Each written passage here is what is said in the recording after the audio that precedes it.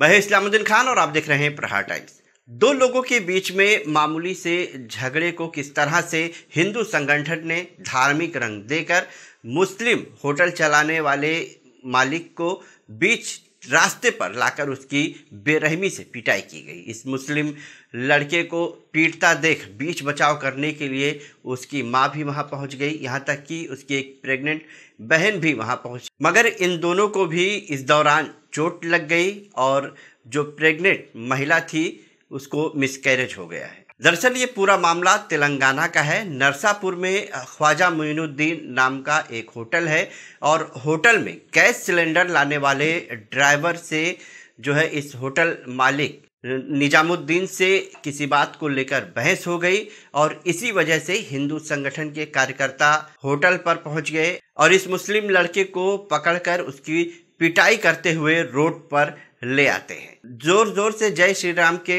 नारे लगाते हुए उस मुस्लिम लड़के को इस भीड़ ने किस तरह से पीटा दौड़ा दौड़ा कर उस मुस्लिम लड़के को मारा जा रहा था। किस तरह से एक मामूली से विवाद को जो है धार्मिक रंग दिया गया और इस मुस्लिम लड़के को यहाँ पर पीटा जा रहा है, जिसका नाम मोइनुद्दीन बताया जा रहा है। मोइनुद्दीन को पीटते देख उसकी माँ और बहन, ये दोनों वहाँ पर पहुँच गई और बताया जा रहा है कि इन दोनों लोगों को चोट लगी थी। हालाँकि मोइनुद्दीन की जो बहन है, वो प्रेग्नेंट बताई जा रही थी, जिसको मिस कैरेज हुआ है।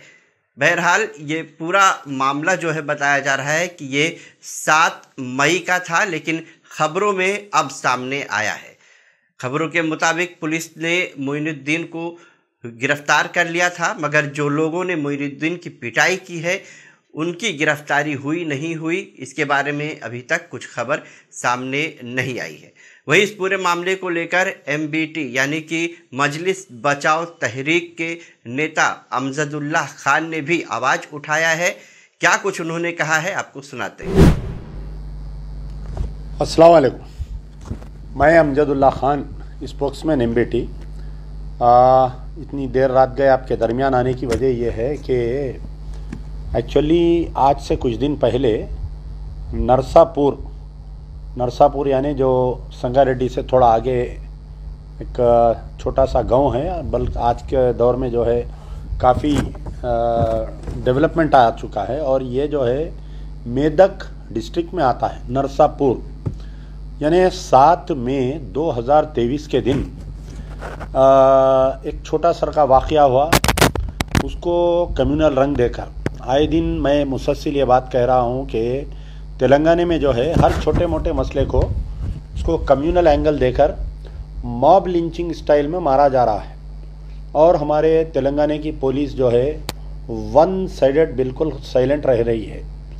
तो ये जो नरसापुर का वाक़ है, बड़ा ही शर्मनाक वाक़ है ये। तो सात मई 2023 के दिन ऐसा होता है कि कोई ख्वाजा मोइनुद्दीन नामी एक नौजवान लड़का है आ, उसकी कुछ कल्याणी की होटल है। तो जो नरसारा नरसापुर चौरास्ते पर ही उनकी एक होटल है बाजुक मकान कुछ है उनका। ये लड़का जो है गैस सिलेंडर को ऑर्डर करता है। तो उनको गैस सिलेंडर आता है। आ, जो कंपनी जो ऑटो ड्राइवर रहता है। तो वो ऑटो ड्राइवर जो है दोनों में कुछ बहस तकरार होती। ये ख्वाजा मोइनुद्दीन और वो लिंगम में जो ऑटो ड्राइवर है। तो ऑटो ड्राइवर जो है इत्तेफाक से वो स्वामी का, साई बाबा का माला डाला हुआ रहता उन्हें। तो दोनों में बहस हुई।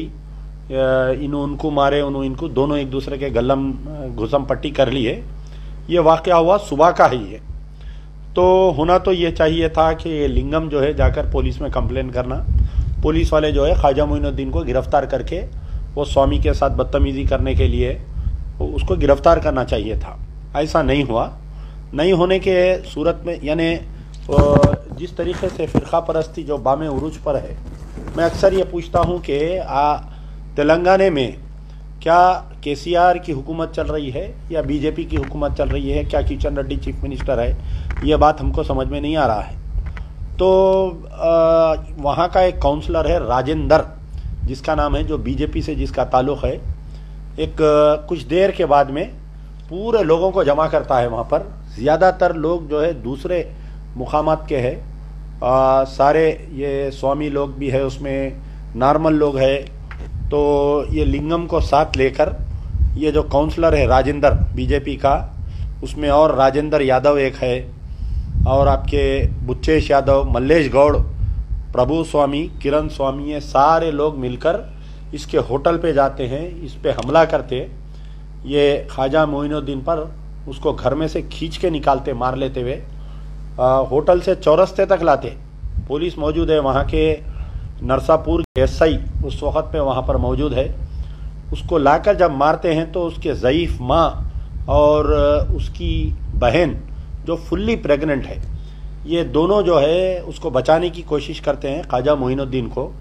चौरस्ते पे ला के मार के जय सिया राम जय सिया राम के नारे लगाते हैं। और ये पूरा वाक़ पूरा वीडियो रिकॉर्डेड है। यानी जो ख्वाजा मोइनुद्दीन को खींच के उसको ला के मार रही, और ये देख सकते कि आप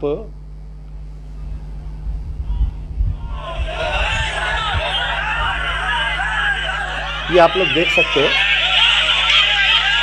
ये इसमें देखिए आप कि उसकी बहन है, एक माँ है जई तो देखिए उसको बचाने की कोशिश कर रही है। ये जो हरे में है ये उसकी ये ये माँ है और ये बहन है।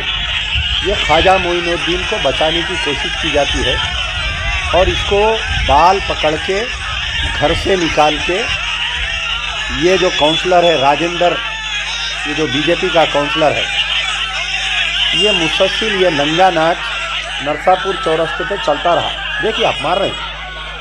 पूरे हिंदू युवा वाहिनी, बीजेपी, आरएसएस के वर्कर्स जो है मार रहे इसको। अब इसके बाद में जो है, लंबा वीडियो है ये। तकरीबन तीन मिनट तक इसको मारते रहे। ये वीडियो तीन मिनट का एक वीडियो है, और एक एक वीडियो देखिए आप। इसको घर में से खींच के निकाल रहे बाला पकड़ के। खातन को मार रही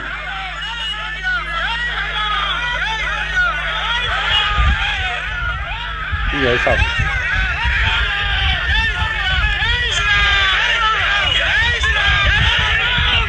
ये एक हो गया देखिए एक और एक वीडियो है। ये सही की मौजूदगी में मार रहे हैं उसको तो एक साहब टोपी में उन्हें बचाने की कोशिश कर रहे हैं।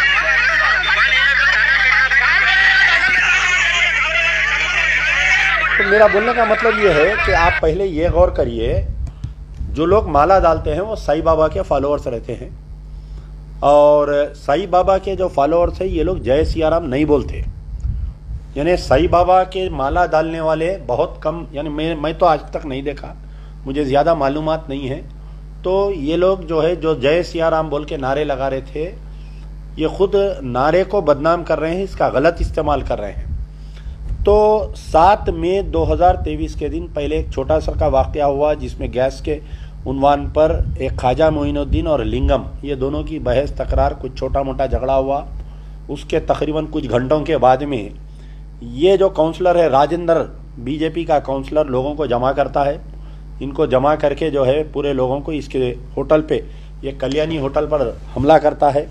और हमला करने के बाद में जो है, उनके वालदा को और उसकी हमेला बहन को इतना मारते हैं लोग कि मुझे ये पता चला कि उसकी जो हमेला बहन थी, उसका जो है पेट में बच्चा मर जाता है। और उसको दवाखाने में एडमिट किया गया है। आज की तारीख तक भी। और इमीडिएटली मौके वारदात पे ख्वाजा मोइनुद्दीन को गिरफ़्तार करके उसको रिमांड कर दिया जाता आज वो बेल पर आया, बोल के मुझे इतला मिली, ख्वाजा मोइनुद्दीन।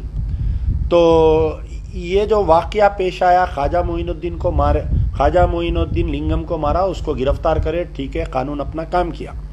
लेकिन ये क्या गुंडागर्दी है जो बीजेपी का काउंसलर राजेंद्र इसके होटल पे मॉब लिंचिंग स्टाइल में हमला किया क्या कोई कानून है या नहीं है बताइए। कोई पुरसान हाल है नहीं है तेलंगाना में मुसलमानों का बताइए। सर में जितने बाल है, उतने सियासी कायदीन हैं, टीआरएस में मुस्लिम कायदीन है, होम मिनिस्टर मुसलमान है असदुद्दीन ओवैसी है, अकबरुद्दीन ओवैसी है, लीडर ऑफ़ द अपोजिशन है, सदर कुलीन मजलिस मुस्लिमीन है, लेकिन ये नंगा नाच के ऊपर कोई आवाज़ उठाने वाला नहीं है। वाक़ हुआ सात मई आज जो है पच्चीस मई हो गई है आज। जुमला 16 दिन हो गए, आज की तारीख तक राजेंद्र को गिरफ़्तार नहीं किया गया। अगर राजेंद्र को गिरफ़्तार नहीं किया गया तो ख्वाजा मोइनुद्दीन को भी आप नोटिस देना था, उसको भी गिरफ़्तार नहीं करना था। हामिला बच्चा पेट में, इनके मारने से, लाता मारने से बच्चा मर गया पेट में। मरा हुआ बच्चा पैदा हुआ बोल के मालूम हुआ। आज की तारीख तक ख्वाजा मोइनुद्दीन की होटल को लाक है, ख्वाजा मोइनुद्दीन की वालिदा कहाँ है? किसी को नहीं मालूम उनकी बहन कहाँ है, किसी को नहीं मालूम कोई बोल रहे हैं कि फलकनुमा इंजन बोली में, ये बच्ची का ससुराल है। तो ख्वाजा मोइनुद्दीन की वालदा के कंप्लेंट के ऊपर ये काउंसलर राजेंद्र को क्यों नहीं गिरफ़्तार किया गया? मैं कुछ पुलिस वालों से बात किया तो ये मालूम हुआ कि वो लोग कंप्लेंट नहीं दिए। पुलिस सोमोटो एक्शन लेना था। आप बताइए, जैसा जगतियाल में बच्चे धरना दिए तो बच्चों के ऊपर एक एक बच्चों पर तीस तीस बच्चों पे केसेस बुक करे। वो यहाँ पर नहीं किया गया। क्या वजह है?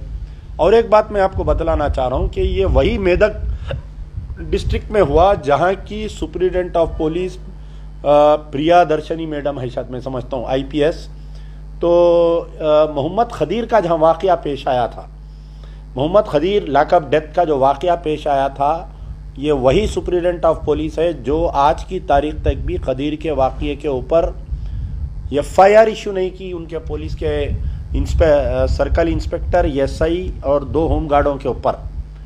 तो आ, ये वही सुप्रिटेंडेंट ऑफ़ पुलिस के मातहत नरसापुर आता है। ये नरसापुर में ये वाक़ हुआ, जो मेदक डिस्ट्रिक्ट का वाक़ है। हमारा मुतालबा है, मजलिस बचाओ तहरीक की तरफ़ से हम मुतालबा करते हैं। कि ये जो वाक़ पेश आया, ठीक है, आप ख्वाजा मोइनुद्दीन पे केस बुक करें, उसको रिमांड करें। हाथ नहीं उठाना चाहिए था, एक स्वामी के ऊपर इन्हें हाथ उठाया, गला पकड़ा, घुसा मारा इन्हें, क्या करा नहीं मालूम, उसका तो हमें कुछ नहीं पता नहीं चल रहा उसका। लेकिन ये जो राजेंद्र, जो बीजेपी का काउंसलर है अच्छा और एक एक, वहाँ पर एक मज़े की बात यह है कि मुरली यादव, जो वहाँ का म्यूनिसपालिटी का नरसा, नरसापुर म्यूनसिपालिटी का जो चेयरमैन है, पहले उन्हें टीआरएस में था, हाल ही में कुछ दिन पहले बीजेपी ज्वाइन किया उन्हें। तो आज की तारीख तक भी मैं समझता हूँ कि उसको बीआरएस पार्टी से उसको सस्पेंड नहीं किया, बल्कि मैं सुना। हमारा मुतालबा है, मजलिस बचाओ तहरी की तरफ़ से, नरसापुर सब इंस्पेक्टर से, नरसापुर इंस्पेक्टर ऑफ़ पुलिस से। नरसापुर इंस्पेक्टर ऑफ़ पुलिस भी एक मुसलमान है, जो दिशा एनकाउंटर केस में वन ऑफ़ दी अक्यूज है उन्होंने और हाल ही में जो खदीर के, व मोहम्मद खदीर कस्टोडियल डेथ में भी इंक्वायरी ऑफिसर हैं। तो मेरा circle inspector Narsa Rao Narsapur sub inspector Narsapur DSP Narsapur superintendent of police Indira Priya Darshini madam IPS और collector Shri Rajshree Shah IAS Mahmood Ali home minister director general of police Anjani Kumar sahab KTR sahab और हमारे हरीश राव साहब, जो जो भी साहेबिन इकराम हैं हम तमाम से हमारा मुतालबा है कि ये जो राजेंद्र बीजेपी का जो काउंसलर है, इसके साथ 50 आदमी हैं, आप देख सकते हैं वीडियो पे। मैं फिर आपको बतलाऊँगा कि 50 से 60 आदमी हैं जो उसकी ज़यीफ़ वालदा को मार रही, जो उसको, आपके, उसको मार रही। 50 से 60 लोग हैं। पूरा माब है देखिए आप मारने में। ये पूरों को आप गिरफ़्तार करना चाहिए। कानून जो है, सबके लिए एक है, हिंदू के लिए एक है, मुसलमानों के लिए एक है। के साहब, आप दीवारें नो पढ़ लीजिए आप। आप समझ रहे होंगे कि अगर मैं ये बीजेपी के कारकुनों के खिलाफ में मैं एक्शन लूँगा तो शायद मैं आने वाले असेंबली इलेक्शन में हार जाऊँगा। ऐसा नहीं होगा। आप इनके खिलाफ में एक्शन नहीं लिए तो अकलीतों के वोट से आप महरूम हो जाएँगे। पचास से देखिए आप अलानिया बता रहा, देख, मार रहे देखो आप। इसके देखिए देखिए आप। गौर से देखिए, मैं ये वीडियो डालने वाला हूँ ट्वीट करने वाला हूँ। मेरे फेसबुक पे भी डालने वाला हूँ, आप लोग देखिए। तो बहरहाल, मेरा मुतालबा है कि राजेंद्र बीजेपी काउंसलर और उनके साथ पचास आदमी, जो ख्वाजा मोइनुद्दीन की मकान पर, होटल पर हमला किए, उसकी वालदा को मारे, उसकी हामिला बहन को मारे, जिसकी वजह से उसका पेट में बच्चा मर गया। और वो मरा हुआ बच्चा पैदा हुआ बोल के मालूम हुआ दो दिन पहले और इसको जेल में डाल दिए। तो इनके ख़िलाफ़ में कानूनी कार्रवाई करना चाहिए। दो अलग अलग मुकदमात बुक करना चाहिए। एक वो जो घर पे हमला किए और मारे और दूसरा जो हमला, औरत पे हमला करने की वजह से जिसके पेट में बच्चा मर गया, उसके ऊपर एक्शन लेना चाहिए। मजलिस बचाओ तहरीक का मुतालबा है। ठीक है, आज आप ताकत में हैं। आप ताकतवर है के साहब, बहुत ताकत है आप में। आप कोई एक्शन नहीं लेंगे।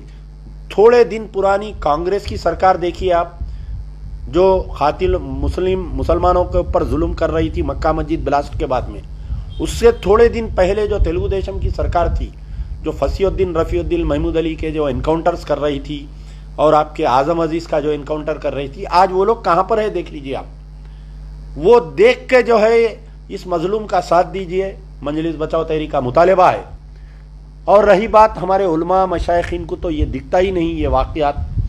अब थोड़े दिन में इलेक्शन का ऐलान होंगे, आप लोग खुद देख सकते हैं कि तमाम सारे हमारे उलमा मशाइन कैसा जाएँगे प्रगति भवन में, कैसा बिरयानी खाएँगे, फिर वही हमारे हामिद मोहम्मद खान साहब आ जाएँगे, फिर वही हमारे तामीर मिलत वाले आ जाएँगे, फिर वही हमारे तमाम जमातों के लोग आएँगे और बोलेंगे कि हम के सी आर के वैसा सेकुलर इंसान हम आज की तारीख तक नहीं देखे। ये पिछले मैं ज़्यादा पुराने वाक़ात नहीं सुना रहा हूँ। ये दो महीने, एक महीने में क्या क्या वाक़ात हुआ? कस्टोडियल डेथ हुआ। मेदक में मोहम्मद खदीर को मार दिया गया। जगतियाल में एक मुस्लिम खवतिन के साथ सब इंस्पेक्टर बदतमीजी किया। आज की तारीख तक भी वो सब इंस्पेक्टर को सस्पेंड नहीं किया गया है। सोशल मीडिया पे जब खदीर का वाक़ हुआ तो कई लोग आए बीच में, बोले कि उसको असदुद्दीन ओवैसी के बोलने पर नौकरी दिला दिए उसको फलाना कर दिए, उसको फलाना कर दिए। उसको कंपनसेशन दे दिए। आज की तारीख तक खदीर की अहलिया को एक रुपया नहीं मिला कोई नौकरी नहीं मिली। ना तो वो खाती पुलिस अहदेदारों पर मर्डर केस बुक हुआ।